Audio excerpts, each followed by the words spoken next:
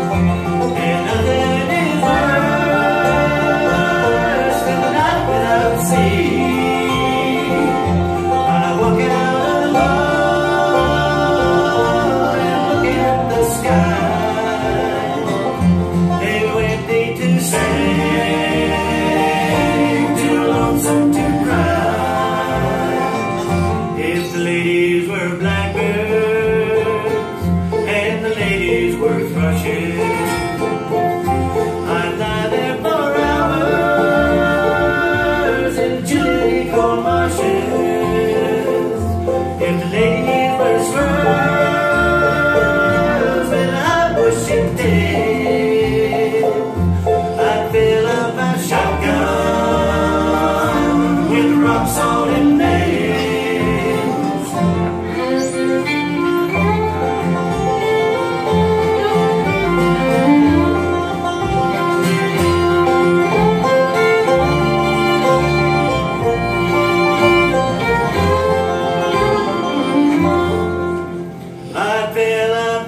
shotgun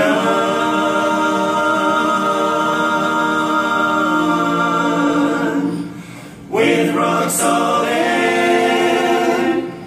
Name.